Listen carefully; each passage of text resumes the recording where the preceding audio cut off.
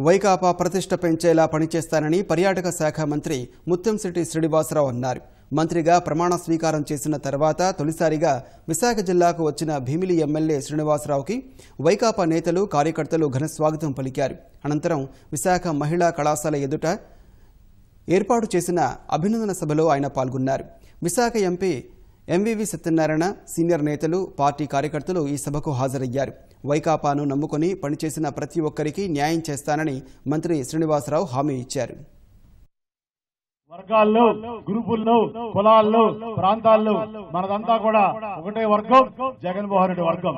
Party అభివృద్ధి కోసం గాని ప్రభుత్వ ప్రతిష్ట పెంచడం కోసం గాని నా వంతు కృషి తప్పకుండా చేస్తానని జగన్మోహన్ రెడ్డి గారు ఏ నమ్మకంతో అయితే నాకు ఈ బాధ్యతలు అప్పచెప్పారో ఈ పదవి అనేది అలంకార ప్రాయంగా కాకుండా ఒక బాధ్యతగా తీసుకుని మీ అందరికీ నాయకుల్లా కాకుండా ఒక సేవకుల్లా పనిచేసి తప్పనిసరిగా మీ అందరూ రుణం తీసుకుంటారని మీ నియోజకవర్గాలకు వస్తాను మీ ఇంటికి వస్తాను మీ సమస్యల్ని నా సమస్యగా భావించి పరిష్కారం కోసం కృషి చేస్తాను తప్పనిచ్చి.